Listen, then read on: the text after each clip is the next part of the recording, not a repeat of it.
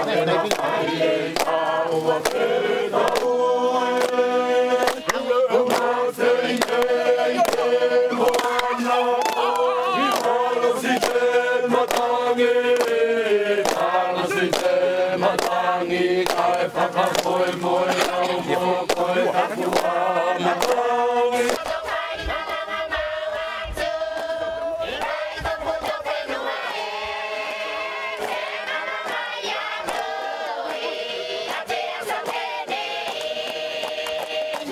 timbul. Nah.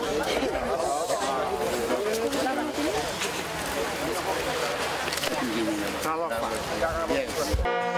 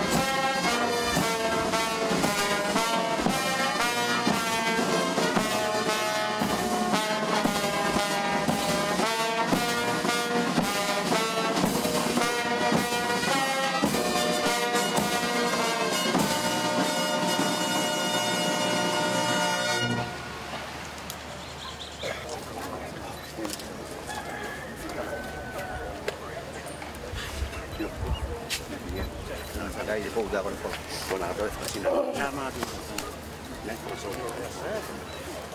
mi neanche non fai per tanto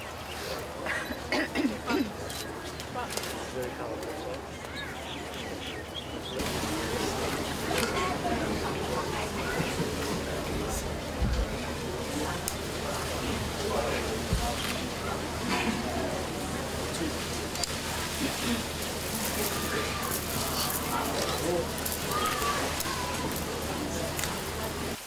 The uh, chiefs and the community leaders of this beautiful island of Kioa. The uh, chief celebrant, Pastor Tehulu Mika,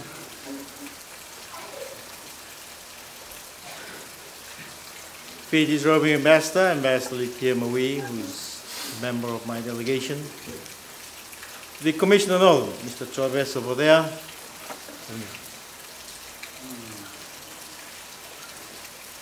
the um, chairman of the Council of Kiowan and the chairman of the Council of Rembrandt.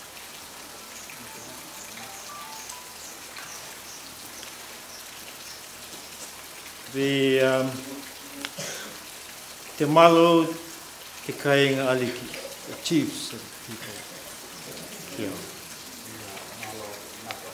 Distinguished guests, ladies and gentlemen, our boys and girls. Talofa te malu. Isambol and a very good morning to you all. Today marks another historic and joyful occasion for me and my wife, Sarote, as we join you in celebrating 70 years since your elders or your forefathers from the island of Vaitupu in Tuvalu settled here in Kioa Island. And I wish to convey to you all our warmest greetings and congratulations on behalf of government and the people of Fiji. I also extend a very special welcome to the Honorable Prime Minister of Tuvalu and your good wife and your good delegation, sir. Many of whom I met when we were in Tuvalu recently. Ladies and gentlemen, just over three weeks ago, my wife, Sarah, and I had the pleasure of representing Fiji at Tuvalu's 39th anniversary of independence. Our memories of that visit are still very fresh.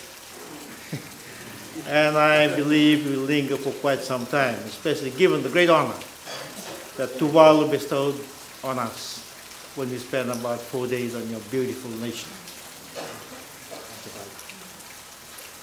We were treated to fish since the first day of our arrival on Thursday, the 28th of September, until we departed reluctantly on Tuesday, the 3rd of October.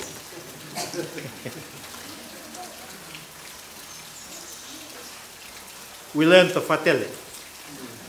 In fact, my wife was the first to join me. And somehow His Excellency, the Governor General, and the Honorable Prime Minister convinced me that the fatele could take away the pain from my knee. So I joined with the rest of my team. well, I brought a bigger team with me today. They are sitting here. Just in case we have to join the Honorable Prime Minister again in the fatele. And I'm glad to see that the Commissioner has also come in full force with government heads of departments in the Northern Division. It's going to be quite a party. Back into Tuvalu, we also witnessed a type of choir competition we had never seen elsewhere in our lives. The boisterous conduct of the choir masters and choir mistresses were exceptional. I commented to the Honorable Prime Minister when I was watching you, sir, conduct the choir.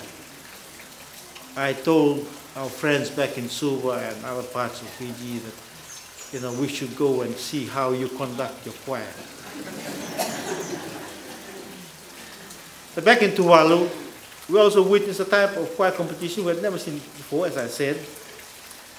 The um, passion in which, you know, not only the choir masters, but the choir sang. It was quite infectious it confirmed how you like to sing praises to the Lord. I believe that they could easily outperform any choir conductor in a competition that aims to stir the spirit and emotions with excitement. I can see that again today. The conductor certainly added life to the vibrant island melody and made the competition truly memorable. I uh, hadn't laughed so much a long time. But there were other great things we learned whilst in Tuvalu. The people's belief and devotion to Almighty God was almost unparalleled. We noted this with great admiration and respect. Your reverence God. We also noted how the Tuvaluans are not waiting for the world to come and save the islands from the rising sea level. They have started to take action against climate change by extending the shorelines, the foreshore, of Funafuti, among other projects. They are doing whatever they can. And I was so impressed with the work that they've done for the borrowed pits. Whilst in Tuvalu, our government asked me to reiterate Fiji's offer to assist the people of Tuvalu just in case our collective efforts to address climate change are not heeded by the major polluters of this world. Fiji is offering all Tuvaluans another home, somewhere else to go. Fiji is promising not only to open our homes and our hearts, but also to help keep alive the spirit of Tuvalu and its people, including your history and your culture. Ladies and gentlemen, I am very pleased that the Honorable Prime Minister of Tuvalu is here today to witness the manner in which you, the people of Vaitupu, have settled in Kioa Island where you have called home for the past 70 years. The 37 early settlers who arrived on this island on the 26th of October 1947 have certainly grown in numbers. We now have among us today the second, the third, and possibly the fourth generations of the early pioneers and settlers. And I'm particularly gratified to see and feel that you have preserved your unique culture and traditions and the spirit of your motherland, Tuvalu. The canoe flotilla, how we were carried ashore, the use of the foam, the preparation of the fakala or the great feast and the accompanying fatele are symbolic of the authentic and very rich culture and traditions. My wife and I are most honored to be accorded with these traditions for the second time within a month. Navalevu Hafitailasi Fayeksi. As we were making our way to your beautiful island this morning, I reflected on the wisdom of your elders to settle here in Kioa some 70 years ago.